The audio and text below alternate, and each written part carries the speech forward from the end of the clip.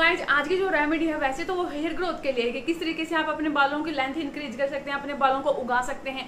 लेकिन जैसे ही मैंने इस रेमेडी को ट्राई किया ना, जैसे मैं आज शैम्पू करती थी तो नेक्स्ट डे बालों में ऑयल आ जाता था क्रीसीनेस आ जाती थी। लेकिन इस रेमेडी को यूज़ करने के बाद तीन दिन तक बालों में कोई ऑयल नहीं था, कोई ग्रीसीनेस नहीं थी।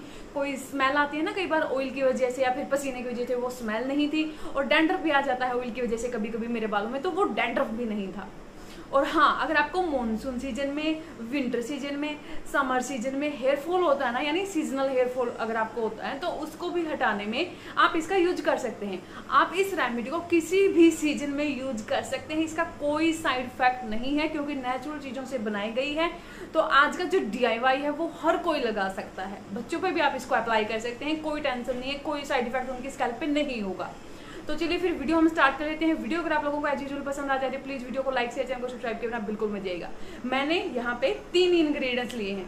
सबसे पहला है हमारा करी लीव्स ओके मैंने फ्रेश लिया है। उसके बाद आपका एलोवेरा जेल मैंने फ्रेश यहाँ पे लिया है। और उसके बाद आपको लेना है रोज और ये रोज ही आपके बालों पे कमाल करने वाला है।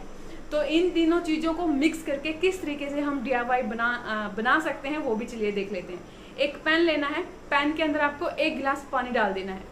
एक गिलास पानी डालने के बाद हमारा जो करी लीव्स है, मैंने तीनों इंग्रेडिएंट को अच्छे से वॉश कर लिया था ओके तो सबसे पहले इसके अंदर जाएगा करी लीव्स, क्योंकि ये पकने में थोड़ा सा टाइम लेगा। इसीलिए हम इसको पहले डाल रहे हैं। आपको हेयर थीनिंग की प्रॉब्लम है, करी लीव्स यूज़ कर सकते हैं। आपके हेयर वाइट हो रहे हैं तो आप करी लीव्स यूज़ कर सकते हैं। हेयर फॉल हो रहा है तो आप करी लीव्स यूज़ कर सकते हैं। सीजनल हेयर फॉल है तो भी आप करी यूज़ कर सकते हैं। कोशिश करिए कि आप यहाँ पे फ्रेश करी ही यूज़ करें। अगर वो पॉसिबल नहीं है, तब जाके यहाँ पे करी लीव्स पाउडर का यूज़ किया जा सकता है। मैंने यहाँ पे कम से कम 25 से 30 पत्ते करी लीव्स लिए हैं, पानी के अंदर डाल दिए हैं और इन्हें हम अच्छे से उबालेंगे। उसके बाद आपको लेने हैं फ्लावर रोज फ्लावर मैं यहाँ पे चार रोज फ्लावर का यूज़ करूँगी। पीएच को बैलेंस करता है जो ऑयल है आपकी स्कैल्प पे आता है जिसकी वजह से हेयर फॉल हो जाता है और आ, मतलब कि जो पोल्यूशन है या फिर जो डर्ट है वो चिपक जाता है कई बार और उसकी वजह से आपकी हेयर ग्रोथ भी रुक जाती है।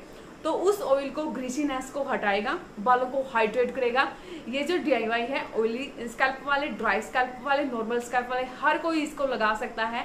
इसके सिर्फ़ आपको बेनिफिट ही मिलेंगे। मैंने चार फ्लावर लिए हैं और चारों के जो पेटल्स हैं, सिर्फ़ वो मैंने पानी के अंदर डाल दिए हैं। अब हम इस पानी को बहुत अच्छे से पकाएँगे। जो हमारा फ्लावर है, वो तो इजीली पक जाएगा, लेकिन जो हमारा करी लीव्स है, वो पकने में थोड़ा सा टाइम लेगा। लो फ्लेम के ऊपर आप इसे कम से कम 10 मिनट के लिए पकाएँगे, ताकि आपका एक गिलास पानी हाफ़ रह जाए। तो जैसे ही आपको लगता है कि आपका एक गिलास पानी आधा रह गया है तो आप गैस को बंद कर देंगे और पानी को ठंडा होने के लिए रख देंगे। अब आपको याद होगा कि हमारा एक इंग्रेडिएंट अभी भी बचा हुआ है, जो है हमारा एलोवेरा जेल जैसे ही आपका पानी ठंडा हो जाएगा, आप इन पत्तों के समेत इसको एक मिक्सर जार के अंदर डाल लेंगे।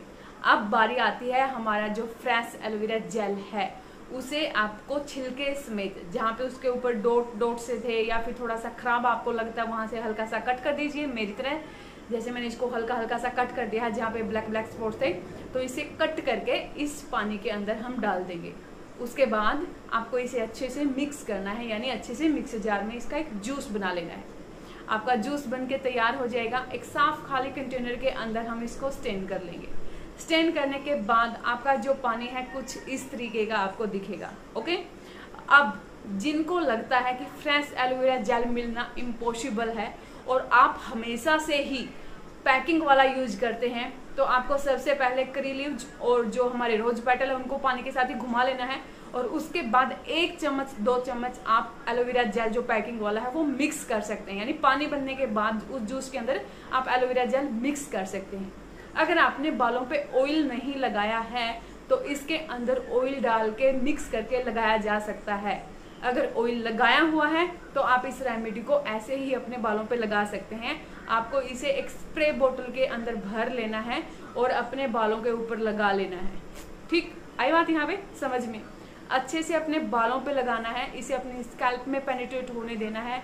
ये इतने अच्छे तरीके से बालों को हाइड्रेट रखेगा, यानी बालों में नमी लेके आएगा कि जो आपके बाल बीच में से टूटते हैं ना, वो टूटना बंद हो जाएँगे। और ये मैजिक एक ही बार के यूज़ में नहीं होने वाला है। उसके लिए आपको आज का डी लगातार यूज़ करना पड़ेगा।